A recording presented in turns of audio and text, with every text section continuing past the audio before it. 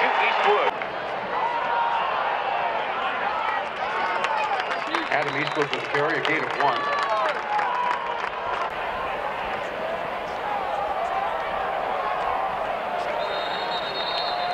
Adam Eastwood with the carry, held for no gain.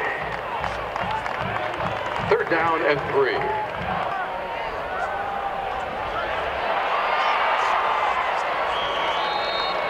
At it, second and 10, UNI 37. They'll hand it off to Lee. Tries to take it off the left edge, and they're in there. Panthers stack him up and stop him for no gain, and once again.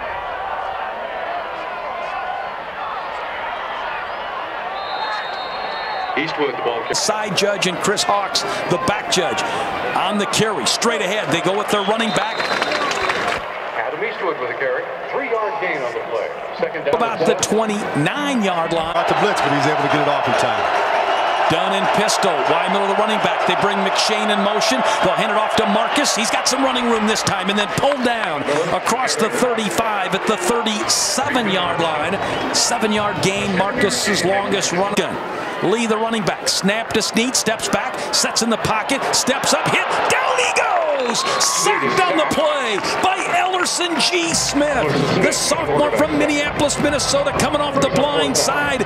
Got the sack of stack twin receivers to the near side, and they'll hand it off to Weymiller. Some running room, and then chopped down shy of the 30.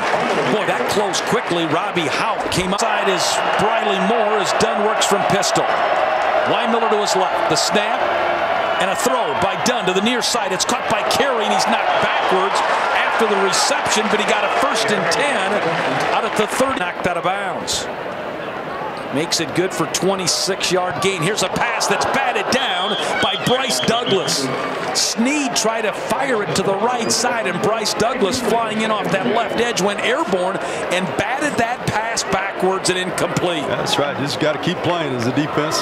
He's one of those senior leaders. Bryce Douglas doing a good job. Got off his block, got the hands up in there, and batted that thing away.